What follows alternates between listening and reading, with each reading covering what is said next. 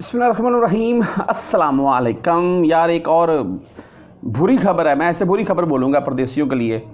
ये पाकिस्तान से अगर आपने भाई, अल्लाह ना करे, इस टाइप का वीज़ा लिया हुआ है तो यहाँ भाई, थोड़ा स्टे कर लें। पाकिस्तान में ही यहाँ मुद्दत बढ़ा लें अगर बढ़ती है तो।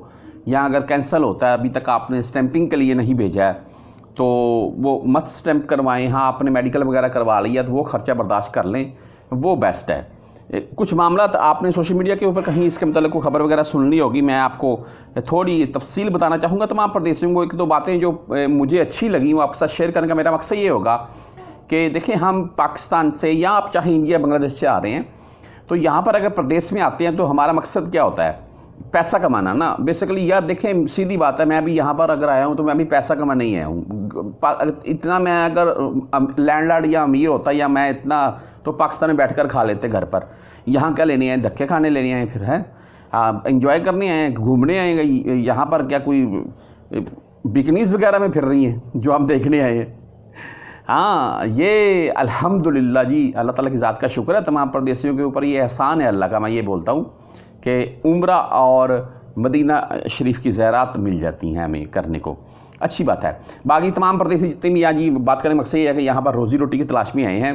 तो मैं आपको एक दो बातें बता दूँगा। देखें, ये बातें बताने का सिर्फ़ मेरा मकसद ये होगा कि किसी परदेसी भाई का नुकसान ना हो जाए। मिसाल के तौर पर अगर कोई मेरा परदेसी भाई दो हज़ार कमा रहा है तो यार ऐसा ना हो गया वो दो हज़ार से भी हाथ धो बैठे। अगर आप पाकिस्तान में बीस, तीस हज़ार, पचास हज़ार कमा रहे हैं तो आप उससे भी ना हाथ धो बैठे।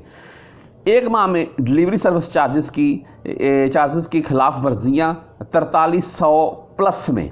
यहाँ पर आपको पिक्चर दिखा रहा हूँ मैं। और ये मरूर की तरफ़ से बाकायदा कन्फर्म है, कहीं मैं मैं या कोई भी बंदा अपनी तरफ़ से नहीं बना रहा ये।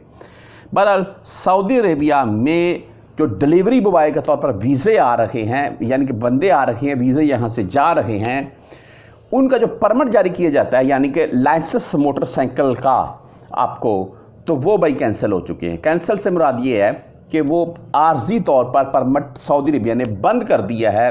क्यों बंद कर दिया है? हमें अब करना क्या है? ये सुन लें।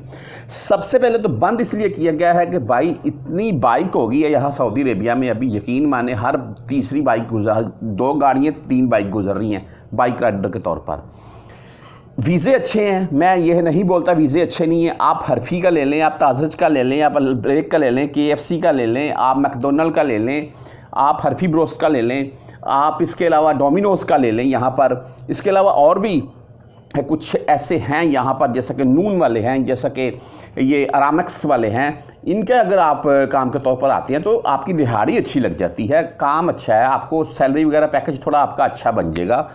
लेकिन आगे से परमिट बंद है। अभी परमिट सऊदी गवर्नमेंट ने इसलिए बंद किए हैं कि भाई बाइक से इतनी हो गई हैं, खिलाफ वर्जियाँ इतनी हो रही हैं, एक्सीडेंट वाले मामला इतने सामने आ रखे हैं, उन्होंने बोला एक दफ़ा आर्जी तौर पर ये परमिट बंद करें। अभी आपने करना क्या है, जो मेरे भाई यहाँ पर डिलीवरी के तौर पर काम कर रखे हैं, आपके अगर लाइसेंस बने हुए हैं तो आप काम जारी रखें, कोई मसला नहीं है, आपको कोई टेंशन नहीं है।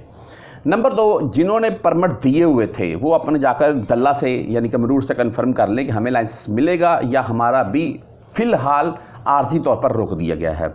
नंबर तीन, जो भाई इस किस्म का वीज़ा ले चुके हैं या लेने की उनकी अगर मर्ज़ी है, लेने की मर्ज़ी है तो मर्ज़ी बदल लें अपनी, यही बेस्ट है।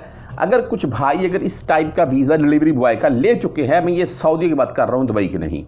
तो भाई आप वो वीज़ा अगर तो स्टैंपिंग के लिए नहीं गया तो उससे कैंसिल करवा लें बेस्ट है। अगर गया, जा चुका है तो स्टैंप होकर आने दें और चंद माह थोड़ी देर वेट कर लें पाकिस्तान में। मैं ये नहीं पता चंद माह आप कुछ दिन मज़ीद वेट करें पाकिस्तान में, उसके बाद आप सऊदिया आएँ और यहाँ पर आकर फ्री बैठने से बेहतर है, कोई काम धंधा ढूंढ लीजिएगा थोड़ा बहुत, जिससे आपका गुजर बसर हो जाए अच्छा।